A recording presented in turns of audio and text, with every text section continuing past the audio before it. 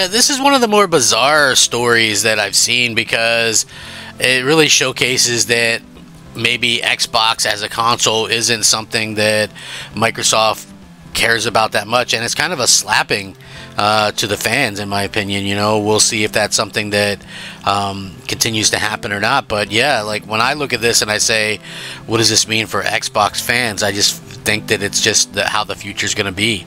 You know, it's it's unfortunate, um, but you know, it's it's just one of those things where what can Microsoft do at this point that's going to change people's perception. It's like they're honestly not really that worried about changing the perceptions or getting people excited about the future of the platform. And you know, then you have like a lot of the Xbox fanboys, like, and I'm an Xbox fan. I love Xbox, but let's be clear, I, I like Xbox the box right? I couldn't give a shit less about, you know, streaming stuff or a PC or playing something on a phone or a smart fridge or any of that bullshit, right? I, I just honestly do not care about that stuff. So, you know, again, I think we kind of come from different times or whatever, but this right here is very, very interesting, and I want to get into it. I'm sure a lot of you guys are going to think the way I do, and it's not a good look for Xbox. And man, for my for Sony, you're just like, whoa, you know, I just, uh, it's, it's crazy. But let's go ahead and get into it. Hey, everybody, I'm Crap Gamer. This is Crap Gamer Reviews back with a, another video. Thank you guys for checking it out. Please leave a like on it. I appreciate that as well. Uh, it definitely means a lot to me. And if you guys could, you know, slap the like button and maybe even consider subscribing, that would be awesome. Uh, you know, I really do appreciate it. And, you know, it helps the channel grow and things like that. So super important uh, to be able to continue to do that. So thank you guys. Now, um, again, the daily content thing is difficult, man. Let like look at anybody who's out there trying to do it. I guarantee you it's tough and you know so I think like if you guys are looking for content that's kind of entertaining and uh, fun and you know and a little bit informative as well then absolutely uh, you found the right spot so thank you guys now interestingly enough um, Minecraft which is a first party thing owned by Xbox right um, is getting a native PS5 version, but not Xbox Series X or S. So think about that for a second and let that sink in. I know there's going to be the initial thought from some fanboys that say something like, "Oh, not a big deal. Who cares? You know, it, it doesn't matter." Um, that kind of stuff. But you know, I, I feel like it does matter. You know, um, Xbox developer Mojang Studios has officially announced a release date for the PlayStation 5 version of Minecraft. This native PS5 release hit Sony's platform on October 22nd. However, Despite Mojang being under Microsoft control for absolutely ages at this stage, we still don't know anything about a native Xbox Series X and S version. So, yeah, think about that for a second. Yep, that's right. Minecraft is coming to PS5, but not this Series X and S, which just feels odd considering Microsoft literally owns the IP and its development studios. Of course, the game does look and run better on current gen Xbox console and has done since a 2023 preview update, but that is still technically the Xbox One version of the game. So, you know, think about that for a second as we kind of, you know, move forward and, you know, kind of look at this. But anyway, um, what's more, the sort of update is also feasible for the PS4 version of Minecraft. So at this point, there has been loads of PS4 games made to look and run better via PS5 backwards compatibility. But for some reason, Mojang is going down the native route with Minecraft. Um, and this new version will support 4K resolution, 60 frames per second on PS5 um, with nothing else in terms of current gen features announced just yet. But again, this is pretty interesting. Now, just a few weeks ago, a lot of people were talking about not seeing the Xbox Series version of Minecraft yet on the 10 year anniversary of the Xbox One release. But it seems, despite that, we won't be receiving a current gen Xbox port anytime soon, and in the process, we're still left waiting for those sweet, sweet ray tracing features that were promised all those um, you know, uh, years ago. So yeah, we kind of live in this world right now where this kind of stuff is happening.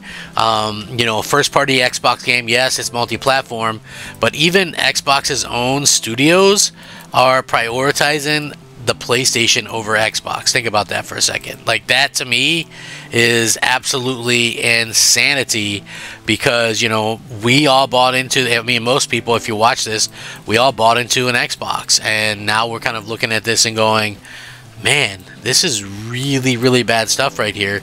Um, I hope that Microsoft can do something to, you know, change the the the future and, and change the way people think about this stuff because this is not going to end well for them. You know, it's like, uh, why couldn't they have done something with this to realistically make um, Xbox fans happy as well? You know, why why is PlayStation getting stuff?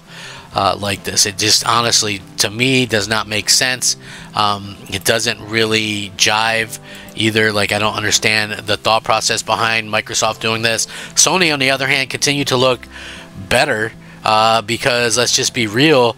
Uh, PlayStation's in a much better spot. You know, like PlayStation realistically, um, they're getting you know games and, and i've mentioned this before and people don't really believe it but microsoft since they continually kind of talk about oh it's a business blah blah blah right which they do a lot now think about this for a second um, what's to stop them from you know being able to maybe having sony buy marketing rights to one of their games right like right now it's like like just let's just say doom for instance right this new doom coming out couldn't Sony get marketing rights from that? Why would Sony not? Why would Microsoft not do that? Right? They already don't look at their consumers as anything special, you know. So like, I could definitely see that. Or you see a situation where, um, you know, Microsoft is would let allow them to do. Uh, like the, the the Call of Duty marketing rights and things like that, uh, which would be crazy. You know what I mean? Like, isn't the whole reason why you're doing this stuff to be able to, um, you know, get people to buy into your platform. I think that's what you're trying to do, yeah? So it's so odd to me that they're kind of handling these things the way that they are. You know, it's just, and it's a real shame, you know, but again, bravo to Microsoft. I mean, to Sony because they are the ones that realistically are kind of doing this stuff that gets people excited again. You know, like the Pro, I get it. Not everybody is a big fan of the Pro or whatever, but hey, you know, they got the Pro. They announced that like 30 year anniversary of it. Everybody's kind of freaking out about it, and rightfully so. Um, you know, Astrobot is great. You know, people already were quick to forget about like the Concord stuff or whatever, um, which makes sense because let's just be real.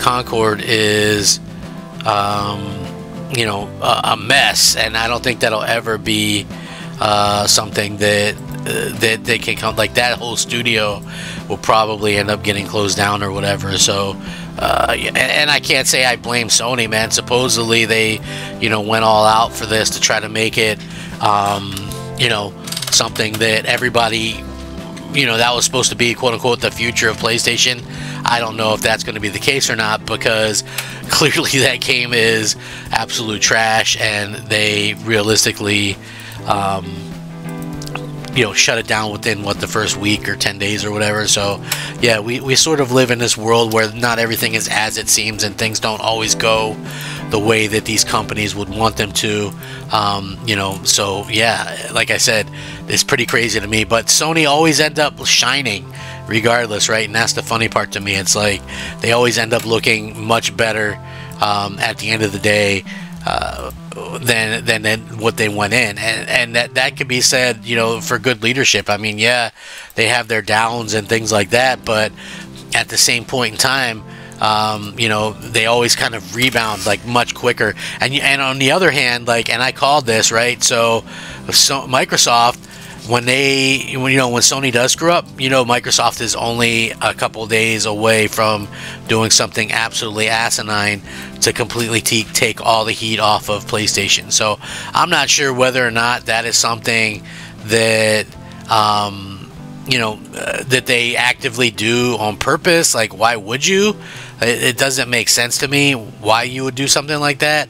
But yeah, it just seems like that. Like when when this Concord and the price, the seven hundred the price of the PS5 Pro, all came out, and everybody was kind of making fun of PlayStation. I knew in a matter of days that Microsoft would do something that completely screwed up and got everybody not talking bad about PlayStation again. And what did Microsoft do? Well, they lay off you know another group of workers and that's exactly what happened you know what i mean? They everybody stopped talking about that stuff and then sony came out with you know hey we're going to do this 30th anniversary thing of of uh, the playstation console or whatever and everybody was back on top you know everybody was back hyping up playstation so anyway i'll link this in the description. You guys can let me know what you think. I appreciate it. Y'all are amazing. Have a great day. Rack 'em up fact 'em up crap gamer 'em up Crap Gamer out.